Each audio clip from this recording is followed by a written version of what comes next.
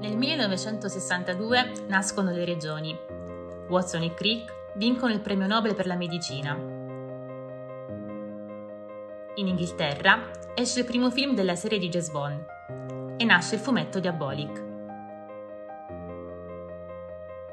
Anche il Servizio Sanitario della Polizia di Stato è nato in quei giorni, sull'esigenza prevalente di una funzione medico-legale, ed è evoluto nel corso degli anni successivi in compiti di natura preventiva e di tutela della salute nei confronti di coloro che svolgono il particolare mestiere del poliziotto.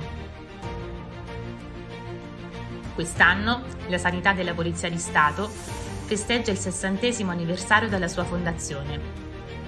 In questo lungo arco di tempo, contrassegnato da notevoli mutamenti sociali, dall'emergere di criticità nuove e da costanti progressi scientifici, è inevitabilmente cambiato anche il nostro servizio sanitario, sempre più impegnato in compiti di supporto e di formazione nei riguardi del proprio personale e sempre più inserito nel contesto della sanità pubblica.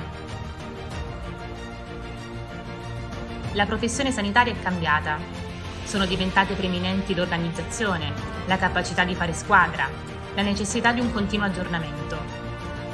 La pandemia da SARS-CoV-2, in tal senso, ha rappresentato un formidabile strumento di tenuta del servizio sanitario evidenziandone sicuramente alcune criticità, ma al tempo stesso anche la sua capacità di far fronte e di ripartire. Ed il nostro impegno è stato premiato con la medaglia d'oro alla bandiera. Le nostre professionalità hanno consentito e consentiranno tutte le trasformazioni necessarie per le sfide contro rischi antichi e nuovi, con la forza che deriva da uno spirito di appartenenza comune e dagli alti valori che contraddistinguono questa straordinaria amministrazione.